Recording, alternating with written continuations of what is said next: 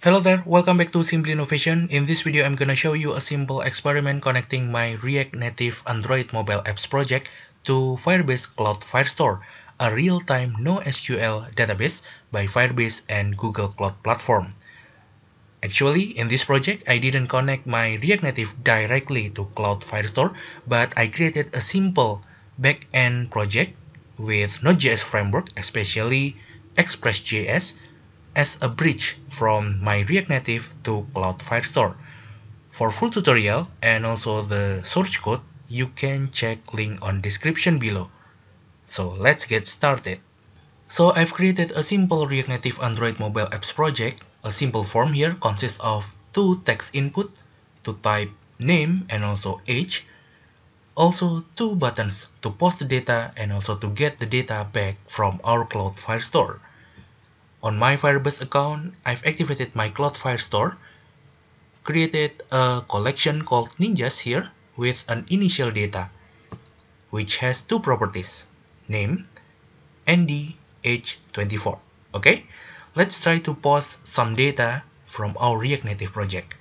Type name, Bob, age 24, and click post button to post the data into our Cloud Firestore click post and wait. Nice. Bob is here. Bob 24 years old. On my React Native project let's try to get the data back from our Cloud Firestore click get button. Nice. ND 24 Bob 24 let's try to input some data. Chacha. 31 post. And Chacha is here. Chacha 31. Click get the data. Chacha is on our React Native. Nice. Let's try to post some data again. Danny 32. Post and then Fafa 21. Post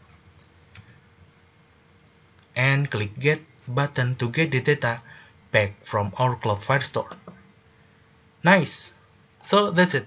A simple connectivity connecting my React Native to Firebase Cloud Firestore. Basically, I've created a simple backend project with Node.js. For full tutorial and also the source code, you can check link on description below.